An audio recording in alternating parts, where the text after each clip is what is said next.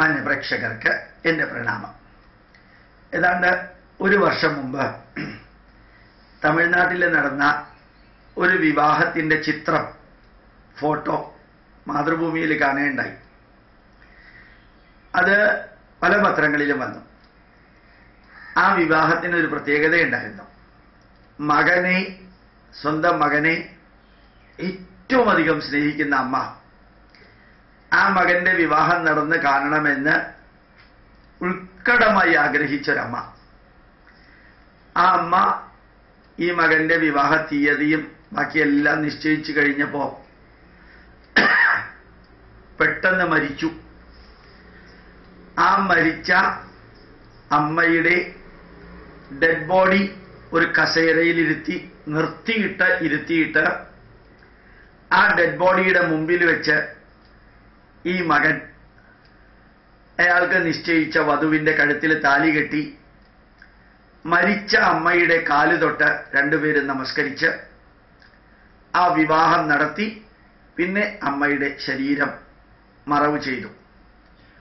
ഇത് ഞാനിപ്പോൾ പറയാൻ കാരണം എന്റെ വീടിന്റെ അടുത്ത് ഈ അടുത്ത കാലത്ത് വിവാഹ നിശ്ചയമെല്ലാം കഴിഞ്ഞ് രോഗിയായ അമ്മ അമ്മ മരിക്കുമെന്നവർക്ക് അവർക്കറിയാമായിരുന്നു പ്രതീക്ഷിച്ചതിനേക്കാളും നേരത്തെ മരിച്ചു.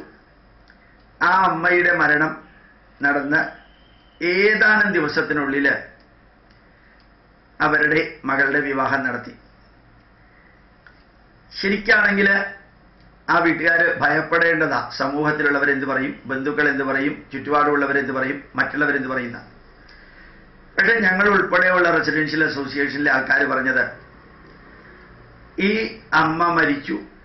ഇനി ഈ മകളെ ഈ അമ്മയെക്കുറിച്ച് തന്നെ ഇങ്ങനെ ചിന്തിച്ചുകൊണ്ട് ഒരു വർഷം കഴിഞ്ഞ് വിവാഹം നടത്തുമ്പോൾ ആ കുട്ടിക്കും ആ വീട്ടിലും ഉണ്ടാകുന്ന പ്രശ്നങ്ങൾ അതെല്ലാം ഒഴിവാക്കാൻ നിശ്ചയിച്ച ദിവസം തന്നെ വിവാഹം നടത്തുക. സമൂഹം എന്ത് പറയുന്നു പറയുന്നില്ല എന്നുള്ളതല്ല നിങ്ങൾ എന്ത് തീരുമാനമെടുക്കണം അതിന്റെ അടിസ്ഥാനത്തിൽ തീരുമാനമെടുത്ത് മുമ്പോട്ട് പോവുക. ഭംഗിയായിട്ട് ആ വിവാഹം ഇന്നലെ മിനിഞ്ഞാന്നൊക്കെ ആയിട്ട് നടന്നു. ഞാൻ നിങ്ങളോട് പറയാൻ കാരണം നമ്മുടെ ആചാരങ്ങൾ നമുക്കൊരു ഭാരമാവരുത്.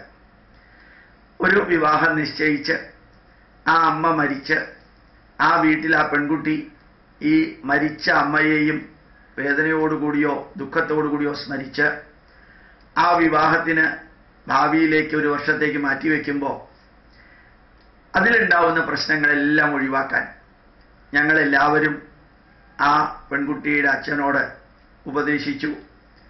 വിവാഹം നേരത്തെ നിശ്ചയിച്ച ദിവസം തന്നെ നടത്തുക. പിന്നെ ജീവിതത്തിൽ മരുമകന്റെ സപ്പോർട്ട് ഉണ്ടാവും. മകൾ ഇത് തന്നെ ആലോചിച്ച് ദുഃഖിച്ചുകൊണ്ടിരിക്കില്ല ഇനി ഈ ഇൻവിറ്റേഷൻ അടിച്ച് വിതരണം ചെയ്ത് കഴിഞ്ഞവരൊക്കെ വരുമ്പോൾ അവരോട് വേറെ ഉത്തരം പറയാൻ നിൽക്കണ്ട. സമൂഹം എന്ത് പറയുന്നു എന്നല്ല നിങ്ങൾ എന്ത് തീരുമാനിക്കുന്നു? ഞങ്ങളെല്ലാവരും കൂട്ടത്തിലുണ്ട്. സത്യത്തിൽ ഒരാളും ഒരാളും വിമർശിച്ചില്ല. എന്തുകൊണ്ടാണ് ഈ മരിച്ച് വിരലിൽ എണ്ണാവുന്ന ദിവസത്തിനുള്ളിൽ വിവാഹം നടത്തിയത്? അതൊന്നും ഒരാൾ ചോദിച്ചില്ല. ഞാൻ നിങ്ങളോടും പറയുന്നു.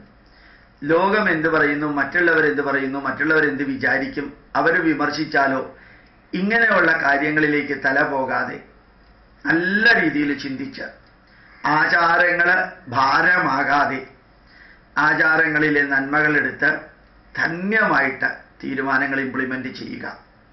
അതിൽ സമൂഹം എന്ത് പറയും എന്നുള്ളത് ചിന്തിച്ച് വേദനിക്കുന്നവരാണ് മിക്കവാറും എല്ലാവരും. അയാൾ എന്ത് പറയും ഇയാൾ എന്ത് പറയും വീട്ടുകാരെന്ത് പറയും ചുറ്റുപാടുള്ളവരെന്ത് പറയും? അവർക്ക് എന്ത് പറയാനും പറയാതിരിക്കാനും സ്വാതന്ത്ര്യമുണ്ട്. നമ്മൾ എന്ത് ചെയ്യണം? ആ ചെയ്യുന്നതിന് കാരണം എന്ത് എന്നുള്ളത് രണ്ടും നമ്മുടെ മനസ്സിലുണ്ടെങ്കിൽ ഇതുമാതിരിയുള്ള പ്രശ്നങ്ങളൊന്നും വരില്ല.